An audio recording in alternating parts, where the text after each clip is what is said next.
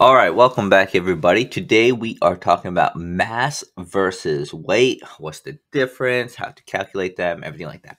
So, mass is the measurement of how much matter or how much stuff is in an object. Okay, how much matter, how much stuff is in an object. Weight is a measurement of how hard the force of gravity is being exerted on an object. Okay, keyword here how hard the force of gravity is being exerted on an object. So, a lot of times, you know, the mass and weight relate to each other. However, weight is completely dependent on the force of gravity. so, what would happen to your mass and weight if you travel to different planets? So, we should know like here on Earth, the gravity, gravitational pull primarily has an acceleration of around uh, 10 meters per second squared but if you went to different planets or different bigger objects like the moon, you wouldn't weigh as much because there wasn't as much gravity. But if you went to bigger planets like, I don't know, Neptune, whatever, or something, you know, it would have, you'd have a much bigger pull because the gravity is more there. Okay, so what would happen to your mass and weight if you travel to different planets? Your mass would stay the same because the amount of stuff, even if you went to other places, would be the same but your weight would fluctuate depending on the gravity of the planet. Okay. All right. So, and if you went into space where there's essentially no gravity, you'd be weightless, but you wouldn't be massless. You'd still have stuff inside of you, but you would be weightless because there's no gravity in space. Essentially, no gravity in space. All right. Uh, notes on mass and weight. The mass of an object will stay the same regardless of where that object is. However, the weight of an object will be different depending on where that object is located. For example, let's say we have a 5 kilogram dumbbell. This 5 uh, dumbbell is 5 kilograms in space, Earth, and on the moon. However, this dumbbell would be around 0 newtons in space, 50 newtons on Earth, and 8 newtons on the moon. Okay, so the weight is pretty different. Weight, which is the same thing as force of gravity, is equal to the mass times gravity. Okay, so formula right here. Weight is equal to force of gravity, and we should know force of gravity is equal to mass times uh, gravity weight equals force gravity, and it's equal to mass times gravity. Okay.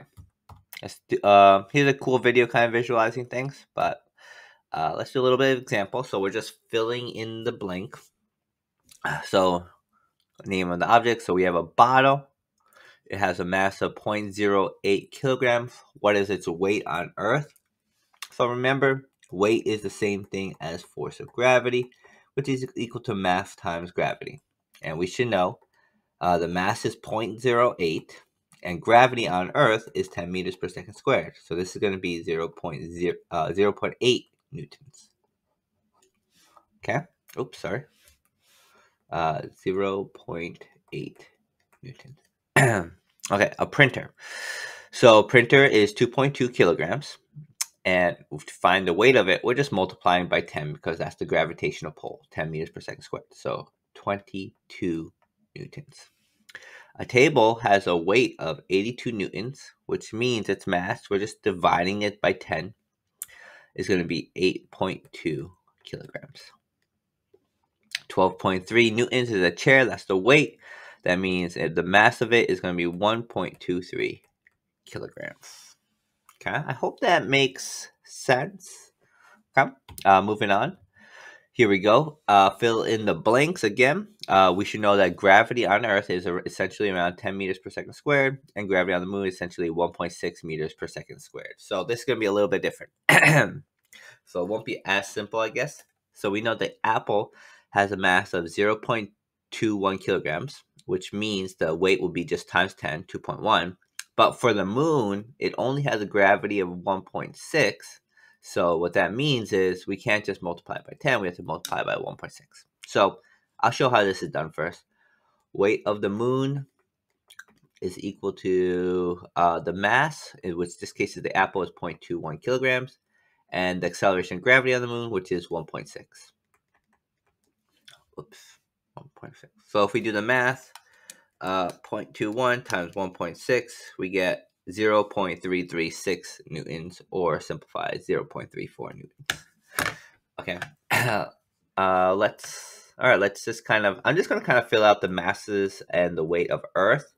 Um, well, maybe not. Maybe I'll do the moon too. So, toothbrush mass 0.003 kilograms.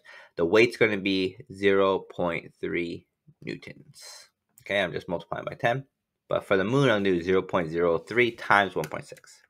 0.03 times 1.6, and we get 0.048. I'm just to put 0.05 newtons. Okay. a car has a mass of 20,000 newtons. That means its mass, oh, sorry, weight of 20,000 newtons. That means its mass is going to be divided by 10, 2,000 kilograms. So now I'm going to take that 2,000 and multiply it by 1.6 to find the weight of it on the moon, which is going to be 3,200 newtons, a lot less than on Earth. All right, textbook. Okay, this one's maybe a little tricky. Uh, we see that's 2.4 newtons on the moon. Um, so maybe I'll try to show the work for this one because this one's a little tricky. Okay, so the weight on the moon I'll just move right now. Weight on the moon is equal to mass times gravity on moon. Okay, weight on the moon is 2.4 newtons. That's how much the textbook is. We don't know what the mass is, but we do know the gravity on the moon is 1.6.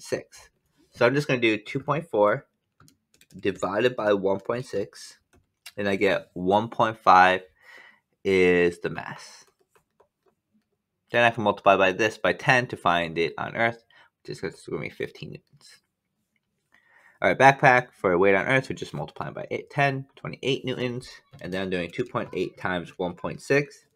And then I get 4.48 newtons for the moon. okay, computer, the mass, I'm just dividing this by 10, 12 kilograms. And then that 12 kilograms for the moon, I'm doing 1 times 1.6. And we get 19.2 uh, newtons. Okay, again, this one's a little tricky, uh, but I think you can do it by now. I'm just doing 1.92 divided by uh, 1.6. This is the same thing as like the textbook, the same procedure. Uh, so I'm just doing 1.92 divided by 1.6, and I get that the mug has a mass of 1.2 kilograms, and then I know the ma- uh, uh, the weight of the mug on Earth is going to be 12 newtons. Okay, I hope that helps. Take your time with it. I know I did a little bit quickly, but take your time with it. Okay, and remember, key thing to know is weight is the same thing as force of gravity. Okay, all right. Where would you have more gold? Three pounds of gold on Earth, three pounds of gold on the moon. Both will have the same amount of gold. Okay, so pounds is a weight. So we should know that if we had three pounds of gold. Let's let's say we have three pounds of gold on the moon, uh, on Earth. Okay, so let's say each gold weighs one pound. Okay. However, in order to have three pounds of gold on the moon, what that means is we would need to have a lot more gold in order for it to equal the same amount. Okay, so we'd have to have a lot more gold in order for this to be three pounds on Earth and three pounds on the moon. Okay. So where would you have more gold? You'd have more gold on the moon. Okay. Okay. Uh, what this isn't saying is there'd be a lot more mass of gold, but the weight would be different. Okay. Weight would be the same. Okay, you are starving and decide to go eat a whole plate of vegetables. Immediately after, uh, do you gain A, mass, B, weight, or C, both? Okay, so the answer is going to be both. And you could be, what? How do you gain mass? I thought you your mass doesn't change. Well, your mass will change if you're look. It's remember mass is the amount of stuff that you have. So if you're consuming stuff, then you're gonna have more stuff inside of you. So when you have more stuff inside of you, you're also going to weigh more if you're on Earth or on, on a planet, not in space. Um, but your mass will also increase. Okay, so your mass and weight will increase.